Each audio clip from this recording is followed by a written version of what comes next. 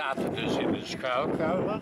En eh, ja, de inspanning, want eh, die dag is de bevrijding geweest. En eh, toen, was het net rond half elf. Toen hebben we nog Duitse militairen binnen gehad. Die kwamen nog komen eten. En eh, mijn moeder, de oudste, die hebben daar nog voor gezorgd. En toen lieten ze nog van die handgranaten onder de tafel liggen in de keuken. En wij zaten, en wij zaten met 25 man in de kelder. Toen was het eh, drie uur half vier. En toen was, toen was het een schucht. Zo zeggen we. Een aanvliegen. En toen is hij hier, hier uh, verongelukt. En hij heeft de boerderij gewoon proberen te vermijden. Want hij heeft de tuin. De, de tuin heeft hij nog gedeeltelijk meegenomen. Ja. Ja, paps, ik beneem het op, maar ik word er helemaal geëmotioneerd van. Ja, maar dat ik Ja. Ja, nee, natuurlijk. Ja, Dat maar fantastisch. Ja, Ja, heel mooi. snap ik. Ja. Jeetje, nou, ik zit met de camera, anders had ik het gedaan. Ja, maar Sorry. Het maakt niet uit hoor. Ja, Maakt niet ja, uit. Jullie zijn de dag erna gaan kijken, denk ik. Ja. Jullie zijn die nacht, Ja, eh, de hele nacht aan die eh, jongens gezegd van de Ja. leeftijd. Die waren nieuwsgierig. Ik zie het nu net. Nieuwsgierig natuurlijk. En toen vonden we dus gedeelte van het lichaam. Ja, Jeetje. ja. Jij en je broer, vrienden, Eh, wat die zeg- waren daarbij de dag erna. Nou, dus uh, meestal mijn broers. Ja. Dus eh, ik heb eh, zes, vijf broers. En eh, de, oudste was eh, rond de twintig. En eh, we mochten van mijn vader eigenlijk dat niet naartoe. Maar wij hadden het toch stiekem gedaan. Ja.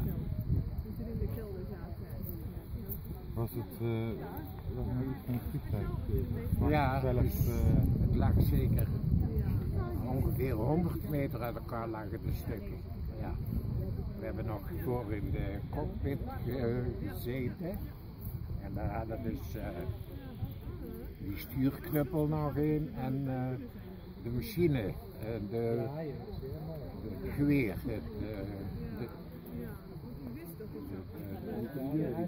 ja, dat was. Want ik heb naar de ramp gevraagd hier. Ik zeg, was er geen tweede man in het vliegtuig? Maar dat was niet. Die piloot die kon dus de, het geschut, zal ik maar zeggen, kon hij automatisch hanteren. Oké. Ja. Hoe is uw voornaam? Hoe is uw voornaam? Jos uh, Kuipers. Ja. De zus is hè? De zus. De zus, ja, ja, Adria. Ja. Ja. Hoe vindt u dit nou? Hoe vindt u dit nou? Prachtig. Ja. Vindt u niet, want verderop is nog een bordje te zien met op het spoor, hè, wat het uh, vliegtuig gemaakt ja, dat is natuurlijk de boom. Nou, dat is een beetje bij elkaar liggen. Staat Hier een is boom. Er staat een boom. En daar is de, ik wel zeggen, de linkervleugel. Het linker takkengedeelte is afge, mee afgenomen. Daar is eigenlijk allemaal gebeurd. Hoe en woonde hier? Ja, ja, wat die woning is dan een oorlog. En hij is even de boerderij afgekomen. En we hebben allemaal geluk gehad. Want was je dus op de boerderij gekomen, zaten met 25 man in de schuilkel. Kun je, kun je zeggen dat, dat u uw leven te danken heeft aan de veiligheid en het vliegtuig? Eigenlijk wel, ja. Als het verkeerd had gegaan, dan hadden we in brand gevlogen. Als je op de En dan hadden we eerst eh, Ja, dat was de boerderij ingestort en, eh, en in brand gevlogen. Dan hadden we geen kans meer gehad om met de kant te komen. Nee. Ja. Hebt u nog een stukje over van het vliegtuig? U zegt dat daar waren vele, vele stukken van het vliegtuig waren verstrooid. Ja. Hebt u een stukje nog Nou, bewaard? Wij weten alleen die, dus van de hè, dat waren dus Engelsen. En dan kwamen we uit school En dan gingen we bij die Engelsen bij de keuken en dan kregen we mooi lekker wit brood mee. En eh, dan kregen we alle dagen heen, want die waren aan het opruimen. Ja. Maar om, om te zeggen, nee, ik heb er, wij hebben er een stukje meegenomen. Want het was, mijn vader wist het heel goed, het was toch gevaarlijk, omdat er wapens aan boord waren. Ja, ja. Dus mijn vader wist goed en daarom hebben hun in de kostkeren dat afgezet. Dus dan mochten we er niet meer komen. Ja. Maar we hebben er ook even. Ja, sorry, nee. Ja. Nee, het was dezelfde dag dat u bevrijd werd. Dat Het was dezelfde bevrijdingsdag eigenlijk ook. Ja, dag dat u ja, die dag zijn we bevrijd. Het gebeurde nog rond eh 11 uur, 12 uur. En om half vijf, vijf uur zijn we bevrijd. Want toen die Duitsers bij ons waren, die zeiden toen de slechting, de Tommy die komt eraan. Ja, Hoe is het nou met die Duitsers? Hoe voelden we dat nou aan? Dan zaten die aan tafel, handgranaten op de tafel. ja, ja. Mijn oudste broer die is dus onder de koeien eh, hij dus aan het melken geweest, want die vroegen om mils, hè, dus melk. En eh, die, eh, die hebben de koeien nog wat melken geweest om melk te geven aan die Duitsers, dat volle bo- boterhammen.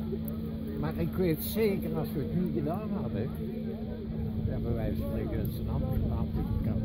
Ja. Want hier zijn boerderijen afgebrand. Die mensen die gaven dus niks aan die Duitsers. Ik heb het hier meegemaakt. En eh dan schoten ze dus alle koeien dood. Omdat ze geen melk kregen. Ja. Maar ze waren niet ingekwartierd bij u, die Duitsers. Nee, er waren, er waren ter verdediging van het kanaal. Want ze moesten de brug slagen, de Polen. En eh, toen lag hier die verdedigingskorven. ja, ja. Maar zij waren weg toen het vliegtuig. Toen waren ze weg, ja. Ik vraag mijn eigen af. Want toen is de Moerdijkbrug gesprongen. Ik vraag mijn eigen af dat ze al over de brug waren. Ja. Het moest allemaal nog gedeeltelijk met paard gebeuren, weet je ja. Bijzondere dag, hè? Bijzondere dag, ja dat gaat.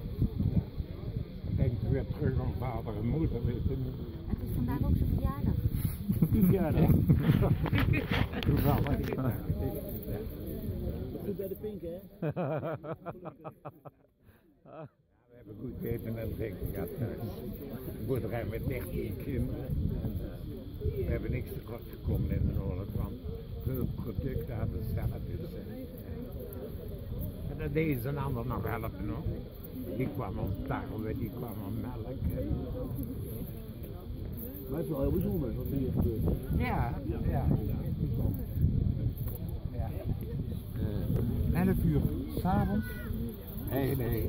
nee, smiddags, Om half elf waren die Duitsers er ook ons. s ochtends. Ja, s ochtends. Ja. En om eh, half vijf, vijf uur, toen waren de Polen weer al. Toen, eh, toen is het tussentijds is het vliegtuig gekomen. In de tussentijd. Dus dat Ja. is smiddags is dit allemaal Smiddags gebeurd. gebeurd. Ja.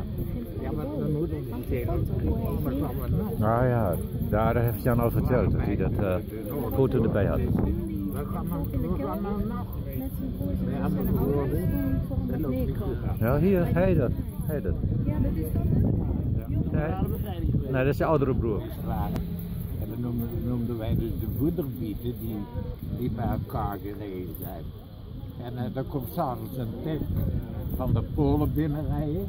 En die dacht dat het een kelder was. En die rijdt mooi, mooi in die, in die hoop met bieten. Daar hebben we allemaal hulpsen van s'avonds uit de tank. En wij lieten lui op die opdraven. Nee. in die grote Ja, Wat deden jullie ermee? Want dat is natuurlijk koper. Dat, eh, ja, dat is zeker goed. mijn grootvader die, die, die zamelde dat in een liter uh, wat Ja, voor instrumenten volgens mij. En, en, ja. eh, Sommige mensen hebben ze ook staan, hè? Als een Ja. soort sieraad, mooi Ja, opgevoerd. bij ons ook. Dan zit, uh, zet er bijvoorbeeld wel eens een roos in. Uh, Ja, ja, ja. Sommigen hebben ze weer gebruikt als asbak. Hebben ze een potje op laten maken. Heb je ze nog? Wij hebben ze nog. Ja, thuis? er waren er drie uitgegooid en we waren met drie broers. Oei, dat was vechten. Ja. Een beetje oorlog nog. Ja. Vechten om de oorlog, om de hulzen. Ja. ja. Maar u bent en uw zus, u leeft, u bent al